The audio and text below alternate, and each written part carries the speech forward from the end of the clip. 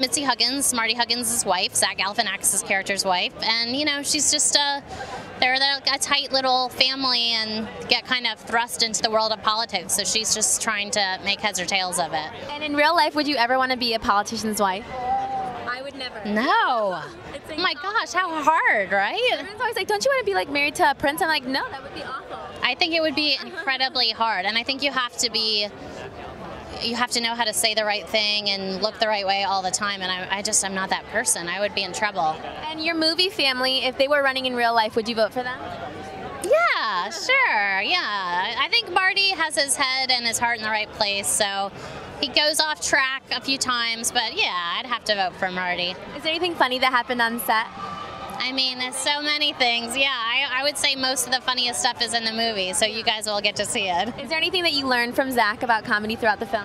I mean, yeah, of course. You know, I think just watching the way he works um, and how he treats people was a big lesson for sure.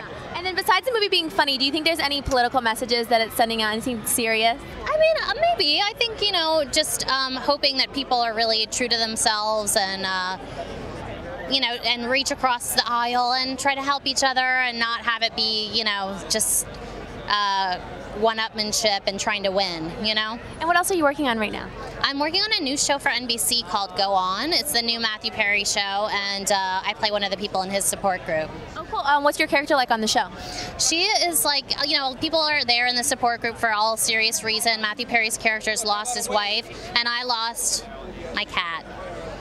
Yeah, so it's very important to her. She's that she's that cat lady, you know. And when does the show air? Um, it starts actually on Wednesday. There's a preview of the show during the Olympics, and then it starts for real in September. So everyone's going to be watching? I hope so. And have you been watching the Olympics? Uh, yes, I'm obsessed, and I'm so scared somebody is going to spoil the uh, women's all around. Oh, okay, gotcha. Um, so if you know, don't tell me. I won't say anything. Um, it was so nice meeting you. Yeah, you too. Thank you. Bye.